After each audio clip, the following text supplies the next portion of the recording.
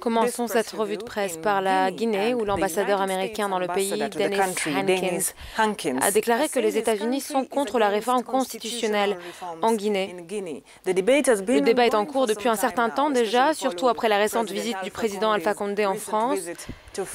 Hankins a fait ses remarques lors d'une entrevue euh, avec un journaliste du quotidien d'Africa Guinée hier à la Beige. Mais selon le journaliste, plusieurs observateurs estiment que le président Condé veut modifier la Constitution pour pouvoir briguer un troisième mandat. Mais les États-Unis continueront-ils à le soutenir dans le cas où cette théorie se réalisait? L'ambassadeur a répondu à la question en indiquant, je cite, euh, Nous sommes très clairs, les pays changent leur constitution, mais nous sommes contre la modification de la constitution en faveur d'une personne au pouvoir. Jusqu'à présent, le président Alpha Condé n'a pas encore parlé d'exercer un troisième euh, mandat et je pense que le président est mieux placé pour parler de ses intentions que qui que ce soit d'autre. Africa Guinée rapporte que Hankins a en outre fait remarquer qu'en Afrique de l'Ouest, il y a des réactions négatives concernant les réformes constitutionnelles.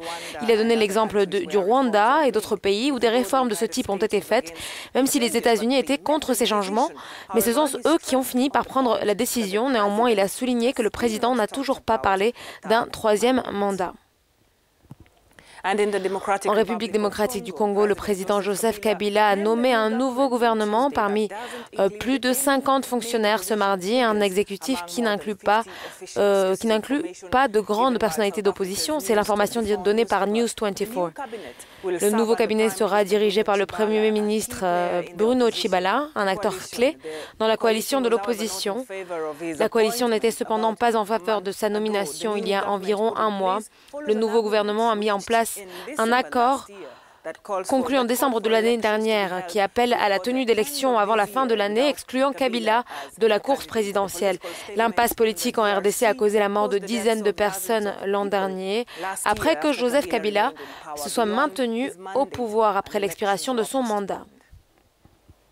Et enfin, au Kenya, The Star rapporte que le président Uhuru Kenyatta a retenu euh, les services de la société de données minières Cambridge Analytica à quelques mois des élections présidentielles qui se tiendront donc en août dans le pays. Une société qui, qui, aurait contribué à la victoire du président américain Donald Trump à l'élection américaine et qui a aussi appuyé celle, euh, du, celle du camp politique en faveur du Brexit au référendum euh, au Royaume-Uni. Cambridge Analytica a en effet travaillé pour la campagne de Trump en 2016, qu'il a emporté avec une marge de seulement 70 000 voix dans trois États disputés. Une implication de la société qui, selon The Star, a scellé la victoire.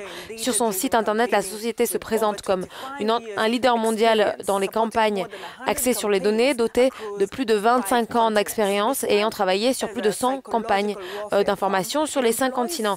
Décrit comme une entreprise de guerre psychologique, elle emploie des ex-officiers de l'armée dotés de cette euh, expérience. Si cela fonctionne pour le Kenya cette année, on peut s'attendre à ce que Facebook et d'autres entreprises qui divulguent des données personnelles eh bien, divulguent des informations privées concernant les électeurs indécis au Kenya, qu'ils bombarderont ainsi de postes de publicité. Affaire à suivre.